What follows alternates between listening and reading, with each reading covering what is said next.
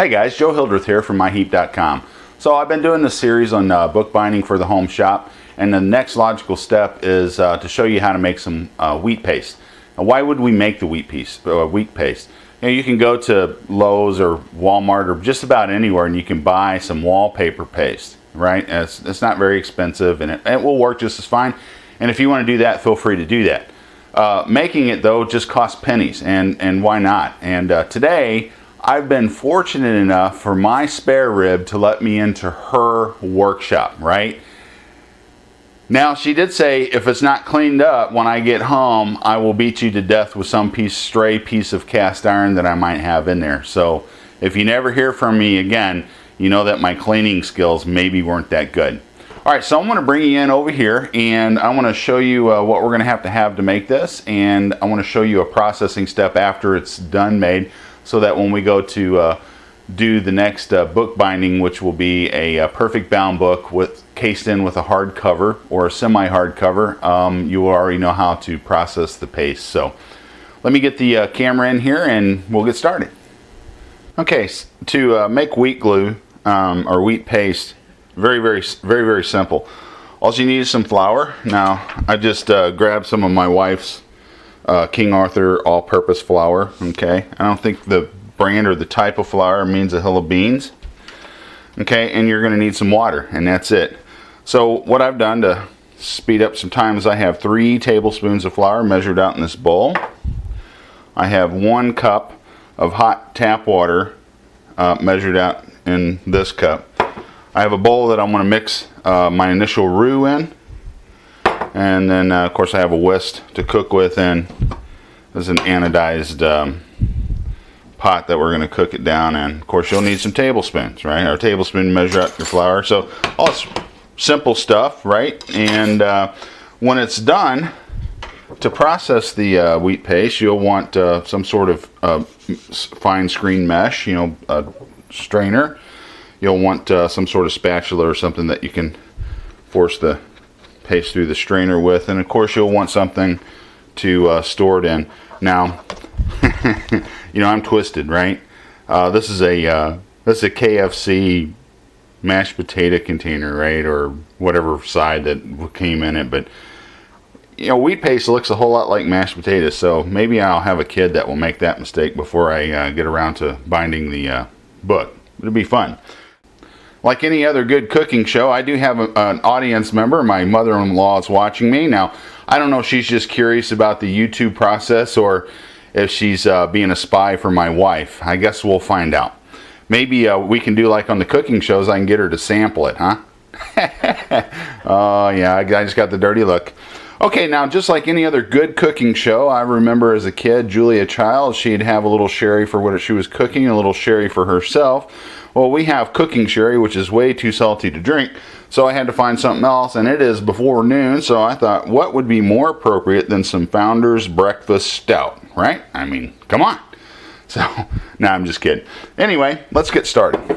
So, in this bowl, I'm going to put just an, a little bit of water in, and uh, really all I'm interested in doing here is um, mixing my flour in with this water uh, and dissolving it, making what's called a roux, as I think is what the uh, the ladies and gentlemen that can cook call it. And like I said, I only want enough water in here, see, just to just to, oops, make a paste.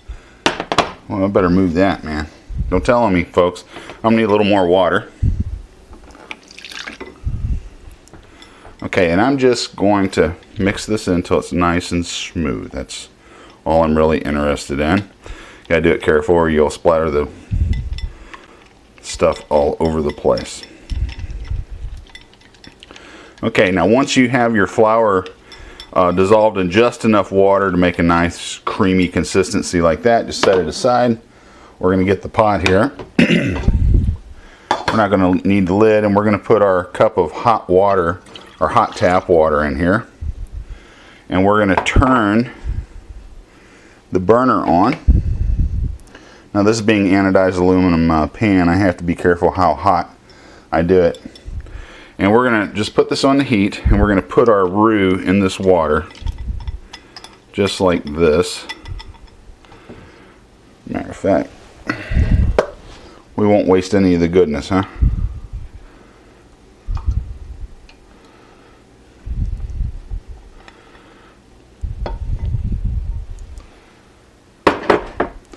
Okay, so now all we're going to do is we're going to stir this as this heats up. We're going to bring this to a boil, and then uh, we're just going to let it cook over this heat until you know it has about the consistency of a gravy. Um, you know, uh, you know, it'll thicken like gravy because this is basically how you make gravy.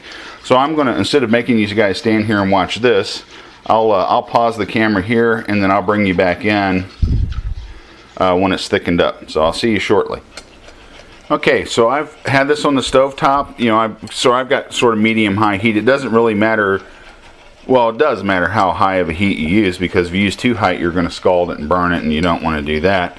So um, the best thing to do is just keep keep moving around. I'm using a whisk here, and uh, when it reaches the consistency of gravy, you see that's thickened, right? Just like that. Um, we can take it off the heat, uh, and if I stop stirring here, you'll see that there's a it, it will simmer. All right, so now the next thing we're to do is we're going to take this off of the heat, okay? And I'm just going to move it here to the back of the stove and let me get you up here where you can see, maybe. Right there, okay? And I'm just going to uh, mix on this to uh, until it cools down um, cool enough that I can put it in my my plastic container and then I'll put it in the fridge to let it chill. Now, uh, essentially the paste is done at this point. You'll want to let it uh, cool down. Um, now, you know, it would only last a couple weeks or so in the refrigerator because remember it is it's a food product. Um, so while there's any moisture in it, you know, it's liable to to spoil. Now you can preserve it a little longer if you put in a, a couple drops of clove oil. I don't have any of that. And usually when I'm done with it, I just pitch it out. I mean, what am I out? A cup of water and three tablespoons of flour, right? No big deal. So I will uh, continue stirring this till it cools down enough to put in the container. And uh, once I put it in the container, I'll, I'll uh, uh put it in the fridge and let it cool. So let's uh, let me take care of that, and I'll bring you back in when we get to that point. Okay, so I've had this off the heat, and I've been stirring it until it's cool enough to go. Whoops, sorry about that until it's cool enough to go into my plastic container. So you see it, it looks like gravy, a thick gravy. And the cooler it gets, the more it will thicken up. So at this point, I'm just going to move this back here and I got my little bowl. Let me take, uh oh see that? My wife is going to beat me to death if I keep getting stuff all over the place. Alright, so I'm going to take that out. And I'll just take my spatula here. Just make sure everything's in frame. And I'm just going to put this in this bowl. So you see the consistency there maybe? Okay. Now as this uh, goes in the fridge and cools down even further, it'll get thicker, okay, which is what we want for the book binding.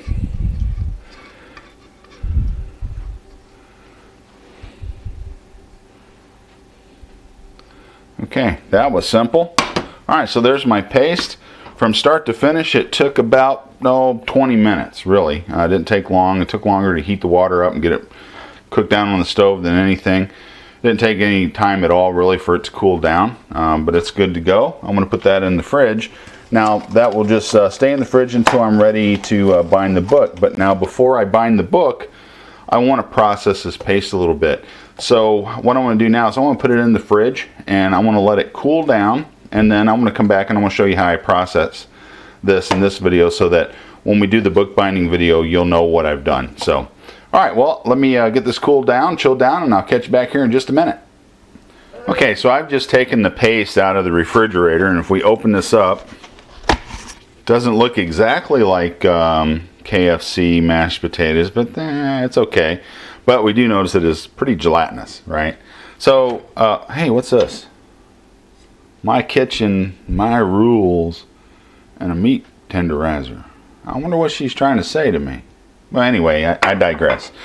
So, um, at this point, you know, this would just stay in the refrigerator until we're ready to use it. But when we're ready to use it, it's difficult to brush paste like this. So what we want to do is we want to sort of mush it and fluff it up.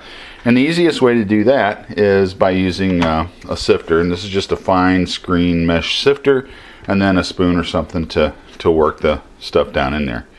Um, I don't know what that is. I got something in there just because this was clean when I started, I know. All right, anyway, um, so here's what we're to do. I want to take and scoop this stuff out, just like this. Mmm, yummy. Doesn't that look good?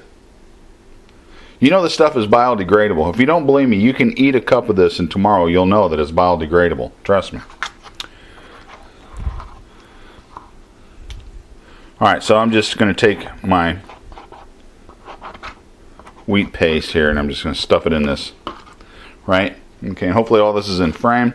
And I'm just going to take and I'm just pushing the wheat paste through the screen. Okay, I'm just going to work it through there like so over my bowl right so you see this is smooth a little creamier right and so what I'll do is I'll do this a couple of times right um, mush the uh, wheat paste through the screen in order to uh, see that's all mushed through there and sitting on this side of the screen right just like that now it's still gelatinous right which is what we want but it's creamier. So I'm just going to take that again, put it in the screen, just like that.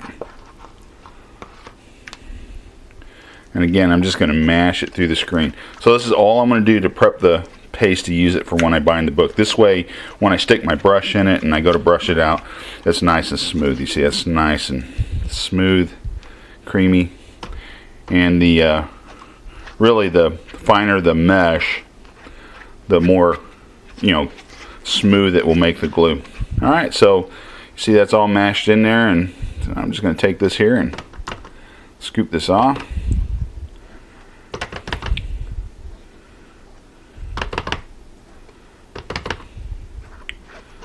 All right, that's that. So that glue is ready to be used on a book. It's nice and creamy. It's going to be brushable and usable, and that's what we're looking for. So anyway, so when I go to uh, do the next book, um, I'll do that again. I'll uh, run it through the uh, through the uh, sift sifter again, just to make sure everything's nice and creamy. But this is going to go back in the fridge until the uh, until the uh, next video when we uh, do a hard hard cased in book. So let me reposition the camera. I got a couple things to say, and um, then we're going to get out of here. Well, there you have it, guys. Making wheat paste just it's not rocket science. Pretty easy and and you know, I really tease my wife a whole lot, but I tell you what, she uh, has, has always been very, very supportive of uh, the crazy antics uh, that I try to do. And, and so, honey, thank you for letting me use your workshop. I know that you really don't like people in here, if, uh, especially if you're cooking. And uh, after tasting my own uh, wheat paste gravy, ah, I think I'm just going to let you cook because, well, I'm, I do not know, I might get skinny if I started well, never mind. Anyway, so hey, look, if these uh, videos are helpful or are, are entertaining or something like that, please consider liking, subscribing, and sharing. Um, subscribers are always welcome. So other than that, have a blessed day.